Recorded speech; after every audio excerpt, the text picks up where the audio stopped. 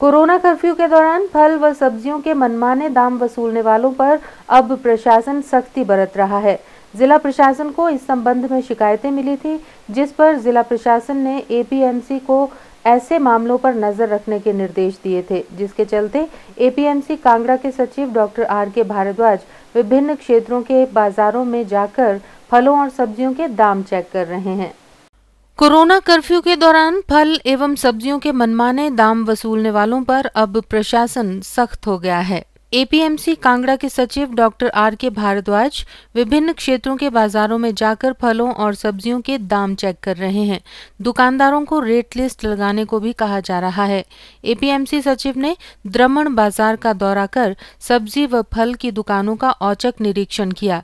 इस दौरान जिन दुकानदारों ने विभिन्न सब्जियों के दाम ज़्यादा अंकित कर रखे थे, उनके दाम कम करवाए गए। इस मौके पर फलों के दामों में दुगनी वृद्धि रेट लिस्ट पर पाई गई। जिस पर एपीएमसी सचिव ने संज्ञान लेते हुए दुकानदारों को चेताया कि आज पहली बार चेकिंग हो रही है, इसलिए छोड़ा जा रहा है। लेकिन फिर से चेकिंग के दौरान, अगर फल और सब्जियों के दामों में इतना अंतर पाया गया तो दुकान सील की जाएगी। यही नहीं, सचिव ने यह भी बताया कि उनके द्वारा जिला के विभिन्न क्षेत्रों में सब्जियों व फलों की दुकानों का निरीक्षण किया गया है, जहाँ भी कमियाँ पाई गई हैं, उन्हें हिदायतें जारी की गई हैं कि आगे से ऐसा ना किया जाए। यदि कमियाँ ठीक नहीं की गई तो दुकान सील करने की कार्रवाई भी अमल में लाई जा सकती है।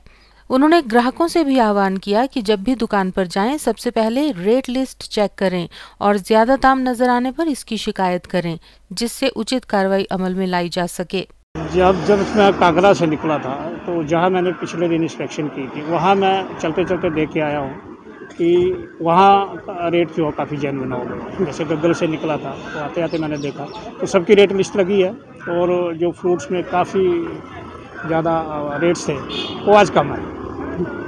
काफ़ी हद तक कम है।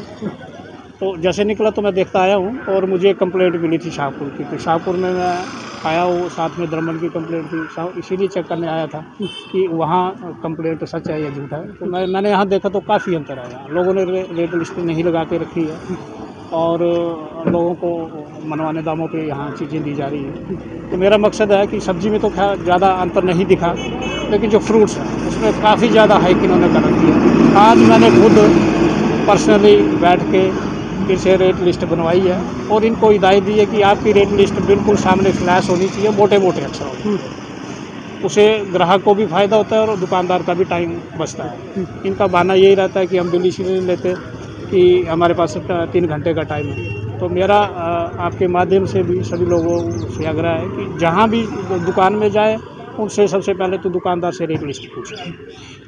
रेट लिस्ट देखें और चुपचाप सामान ले और जल्दी अपना टाइम बचा करके घर जाएँ।